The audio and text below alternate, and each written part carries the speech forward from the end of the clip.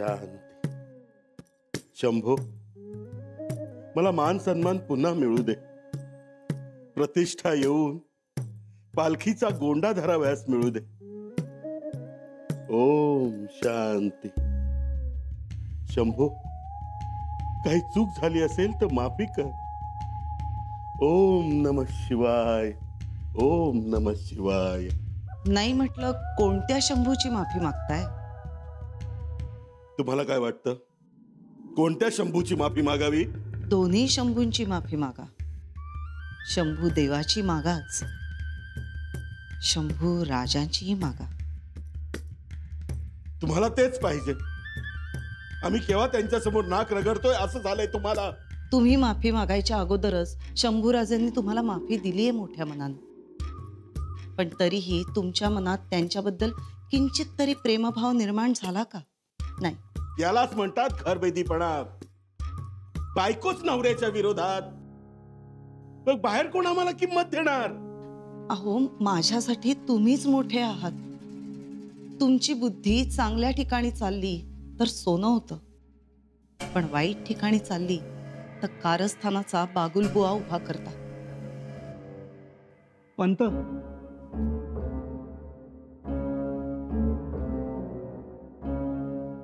बोल. सत्रेवर बोलवलंय तुम्हासनी. काय अरे बाबा हा दुसऱ्या कोणा पंताला बोलवलं असेल? जा. तुम्हासनीच बोलवलंय. चला. मला? हो. आलोच. तू हो पुढे. अहो राजेंचा निर्णय आहे. काळजी करू नका. वहिनीसा बताशीबाई आम्ही जे ऐकलंय ते खरं आहे का? काय ऐकलं तुम्ही? कारभाऱ्यांना सदरेवर बोलावलंय? हो बोलवलंय. बघा मातोश्री एवढं होऊन सुद्धा पुन्हा कारभाऱ्यांना सदरेवर बोलावलंच. अहो पण कशासाठी बोलावलंय? हे आपल्याला कुठे ठाऊक आहे? काय मसलत आहे काय नाही आपल्याला काहीच माहीत नाही. मसलत राज्याभिषेकाचीच असणार. म्हणूनच सदरेवर बोलावलं असणार. बघूया तर आपण. काय बघायचं? म्हणजे आग्रह आपण धरायचा हट्ट आपण धरायचा आणि मिरवायला कोण तर हे सगळे. पुन्हा कारस्थानाचे मणी ओवून माळ करून दादासाहेबांच्या गळ्यात घातली तर त्याला जबाबदार कोण? बताशीबाई कारभाऱ्यांना अद्दल घडलीये. आता तसं काहीही होणार नाही. पण आम्ही म्हणतो पुन्हा पुन्हा विस्तू का पुरून ठेवायचा? तोही आपल्याच उशाखाली. विस्तव नाही हो. आणि आता सगळ्यांना कळून चुकलंय. आणि असं जुन्या जाणत्यांना डावलता येत नाही ना?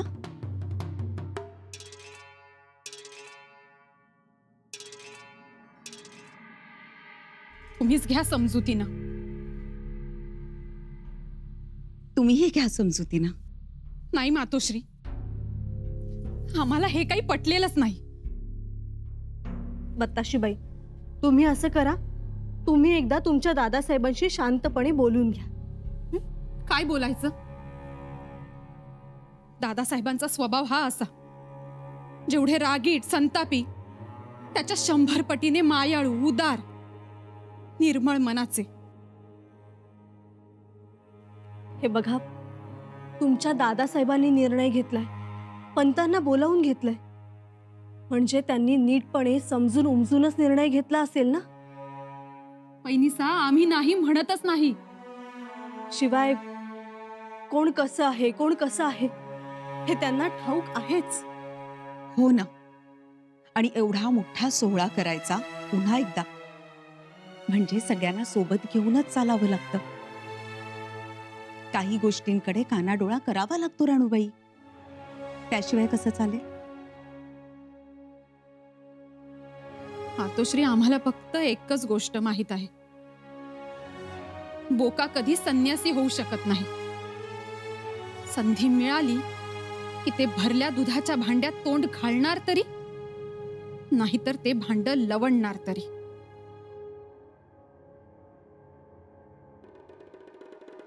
जर राज्याभिषेकाचं ठरलं तर एक करायचं आपण. राहायचं सोबत पण एक काम धड होऊ द्यायचं नाही. सुईसारखं राहायचं. म्हणजे सुई कशी? पहिली छिद्र पाडते मग मागून धागाई आणते शिवून टाकते. तसं राहायचं आपण. का ढोबळा पाडायचा? ढोबळा पाडायचा ना आपणच शिवायचं. हम्म. पण शिवताना दिसायचं शंभू राजांना. तेवढी आपण काळजी घ्यायची बरं का? अहो ऐकलं का? आम्ही मसलतीत जाऊन येतो. आज गोडा धोडाचं होऊ द्या. चला. कविराज गुंता होणार मी आज सांगतो तुम्हाला. मुझे नहीं लगता. तुम्ही नाही लागता कारण तुम्ही पडलात कविराज. फुलात फुलपाखरात गगनात चंद्रप्रकाशात. अव लबाडीची दुनिया तुम्हाला नाही ठावं माहितीये सरनोबत. अहो सरनोबत असं काय करताय?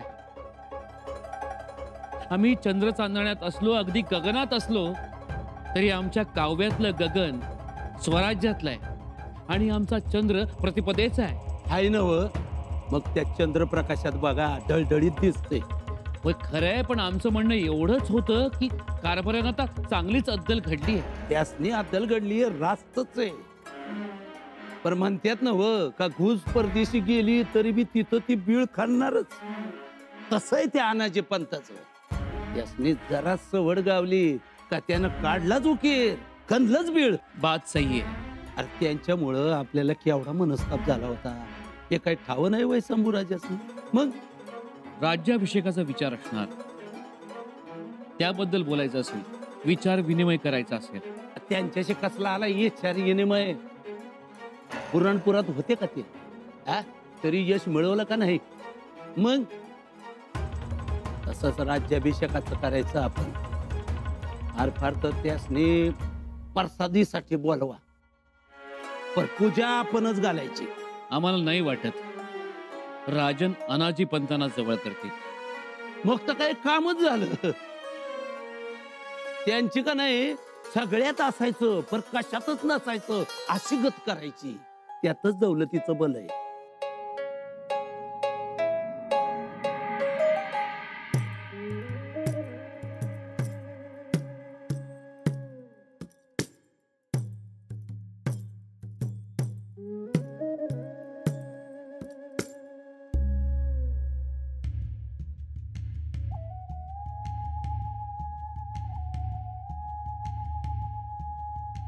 पंत सुरनिसांची बैठक हाक मारते की काय? खरंच हो. खूप दिवसानंतर आलो सदरेवर. बैठक बघून तर सगळे जुने दिवस आठवले. अहो आठवणार नाही तर काय? आणखी एक गोष्ट आठवली. ती म्हणजे कलुषानं केलेला माझा अपमान. कधीपासून सदरेवर येऊ लागलायस? बहुत दिन हो गए। आणि काय काय कळणार तुला या कारभारातलं? हं? छत्रपतींनी जबाबदारी देण्यापूर्वी आपल्याला काय कळत होतं? तुम्हाला बसू दिलं नव्हतं ना त्याने? मला वाटतं तुमच्या जागेवरच बसला असणार तो. हो. मी विसरलो नाही तो दिवस. मला भर सदरेहून अपमानित होऊन जावं लागलं होतं. पण आता वेळ आली आहे. पुन्हा इथे बसण्याची. हम्म. आता तुम्ही होणार सुरनीस आणि आम्ही किल्लेदार. अहो दुसरा माणूस आहे तरी कोण? हं?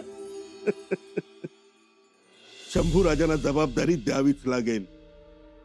आणि जबाबदारी आम्ही हट्टानं घेऊ. अजून हट्टानं वागायची आणि हट पुरवून घ्यायची सवय गेली नाही तुमची पण. काय झालं? आता हट सोडा. आणि पदरी पडल ते पवित्र मानून घ्या. आम्ही पुन्हा याच बैठकीवर बसणार. सर नौबत. काय पण हट.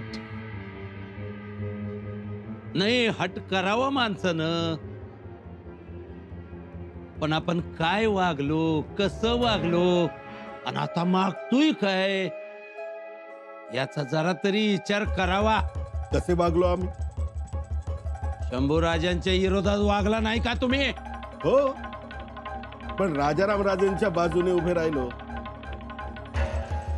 आम्ही इकडून तुम्ही तिकडून. असं असं असं. म्हणजे आता असा पवित्रा घेतलाय तर पवित्रा घेणारे तुम्ही. आम्ही आपलं जी सेवा केली आहे स्वराज्याची त्याच्या बदल्यात पद मागणार. काय चुकलं? तुमचं कधी काही चुकतंय काय नाही. एक ध्यानात ठेवा.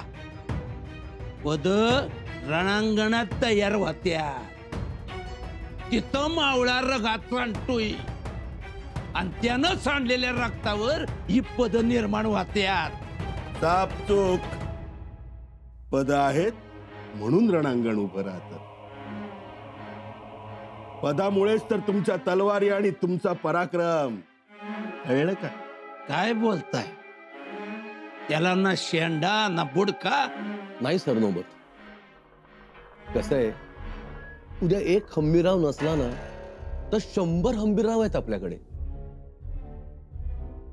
पण एक सुरनीस एक पेशवा नाही तर अजून एकही पेशवा मिळालेला नाही स्वराज्याला. मग? अहो तलवार चालवणारे वीर पायलीला पन्नास. पण बुद्धीने काम करणारा लाखात एक. आणि लाखात एक म्हणजे हा अनाजी पंत आहे. लाखात खाक पंत. सदरेवर राजे येण्याची वेळ झाली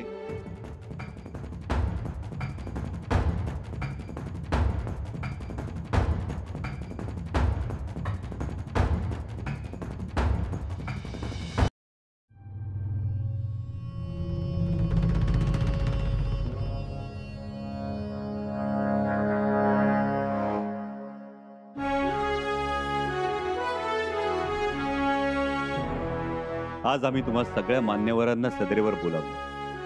त्याचं कारण ऐकून तुम्हा सगळ्यांना आनंद होईल. सांगा राजे. आम्ही राज्याभिषेक करून घेण्याचा निर्णय घेतला आहे. वा राजे ही तर नामी गोष्ट. अहो याची गरजच होती. मी तर म्हणतो उशीर झाला. पण हरकत नाही. सुरुवातीला आमचं मन मानत नव्हतं. मोठा सोहळा. मोठा खर्च. त्यात वेळ जाण. आणि म्हणूनच विरोध होता आमचा. आणि त्याही पेक्षा महत्वाचं म्हणजे बत्तीस मण सोन्याच्या शिवस्पर्शानं पावन झालेल्या सिंहासनावर बसण्याच्या योग्यतेचे आम्ही नाही असं वाटत होतं. अहो राज बुरणपूर मारलं की आणि काय पराक्रम सिद्ध करायचं राहिलंय? आणि बाकी आम्ही आहोतच की. त्याच बरोबरीनं आणखी एक गोष्ट सातत्यानं घडत होती. स्वराज्याचं सिंहासन रिकामं आहे. स्वराज्याला कोणी त्राता राहिला नाही रयतेला कोणी वाली राहिला नाही. अशी परकीय सत्तांची समजूत झाली होती. त्यामुळं कित्येकांची मुजोरी वाढली होती. त्या जंजिऱ्याच्या सिद्धीनं आपला मुलूक मारण्याचा प्रयत्न केला. टोपीकारांनी तह पाळण्यास नकार दिला. इतकंच काय आमच्याकडून गेलेल्या खलित्यांनाही समाधानकारक उत्तरं मिळत नव्हती. त्याचबरोबर रयतेतही जरा संभ्रमाची अवस्था निर्माण झाली होती. परिस्थिती काहीशी तशी झाली खरी. म्हणजे दगड आहे शेंदूर आहे. पण जोपर्यंत आपल्या हातानं आपण दगडाला शेंदूर फासत नाही तोपर्यंत काही त्याला देव पण येत नाही. अशी समजूत आहे राज्याचंही तसंच. सिंहासनावर राजा हा पाहिजेच. जर सिंहासनावर राजा असेल तर शत्रूला धाक बसतो आणि मित्रांच्याही जीवात जीव येतो. त्यांना दिलासा मिळतो. म्हणूनच आम्ही राज्याभिषेकाचा निर्णय घेतला आहे. लय चांगला निर्णय घेतला तुम्ही.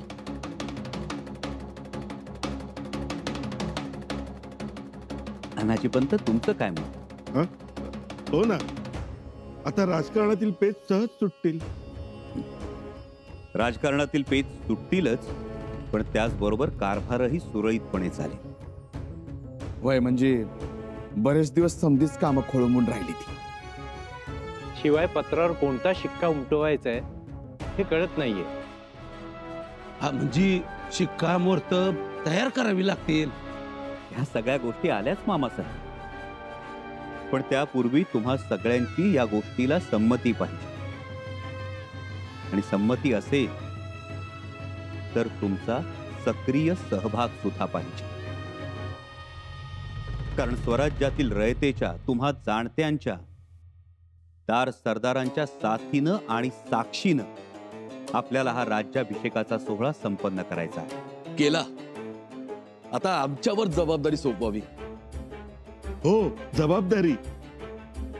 राज्याभिषेकाची आणि कारभारातील अधिकाराचीही. म्हणजे तुम्हाला योग्य वाटत असेल तर.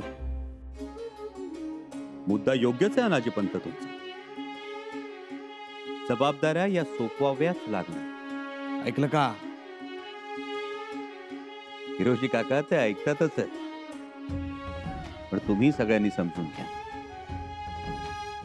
जबाबदारी ही कायम जबाबदार माणसालाच दिली जाते. आणि जबाबदार माणूस हा द्रष्टा असावा लागतो. त्या माणसानं आपल्यावर सोपवलेला कार्यभार व्यवस्थित पार पाडण्याबरोबरच सक्षम पर्याय सुद्धा निर्माण करायचा असतो. जेणेकरून त्याच्यानंतर कारभाराचा गाडा अडणार नाही. आता हेच पहा. एक हंबीरराव नसतील तर त्यांच्या तोडीचा नाही पण त्यांच्या पावलावर पाऊल टाकू शकणारी दहा माणसं आज फौजेत आहेत. पण एक पेशवा नाही एक सुरनीस नाही. तर त्यांचे पर्याय आपल्याला समोर दिसतात? नाही. याचाच अर्थ हंबीररावांनी त्यांच्या नंतर दुसरी तिसरी फळी तयार केली सक्षमपणे परंतु अनाजी पंत?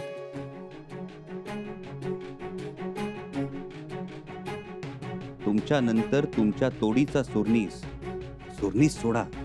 साधा कारकून तरी स्वराज्यात दृष्टीस पडतो का?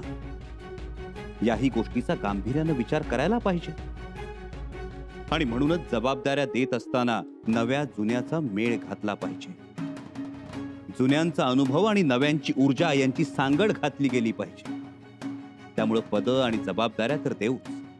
पण बाळाजी काका सर्वात आधी समारंभाचे अक्षर तयार करून ती आई तुळजाभवानीला आणि शिंगणापूरच्या महादेवाला पाठवण्याची व्यवस्था करा.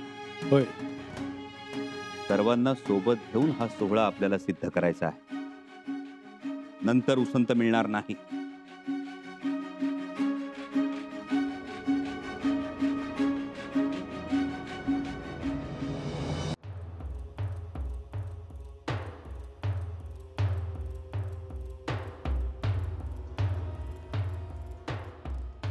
पंत चला आता अक्षता घेऊन.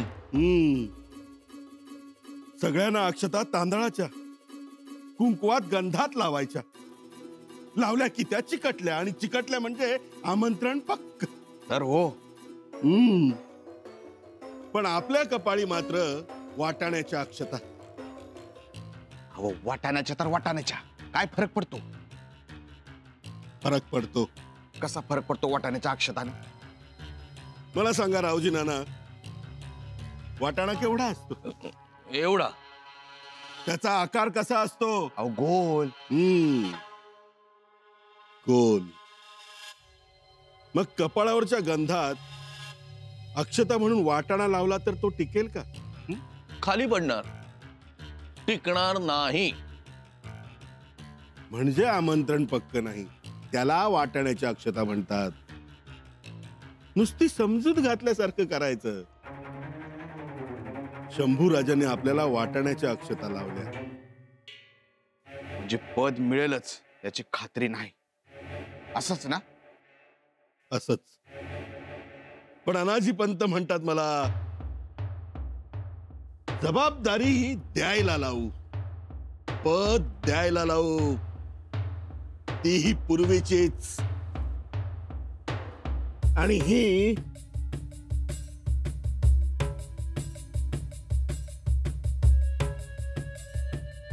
काळ्या दगडावरची रेग अहो तुम्ही बोलला म्हणजे ब्रह्मवाक्यच हो. ऐकलं का रावजी नाना? हम्म. ऐकलं ऐकलं. पण शंभूराजेंच्या मनात नाही असंच वाटतंय. पण त्यांची तशी हिंमत होणार नाही.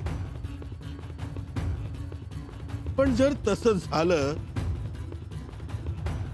तर अनाजी पंत म्हणतात मला एवढी वर्ष सुरनिशी केली आहे जबाबदारी पद मिळवत. सरळ मार्गाने नाही झालं तर आड मार्गाने मिळवू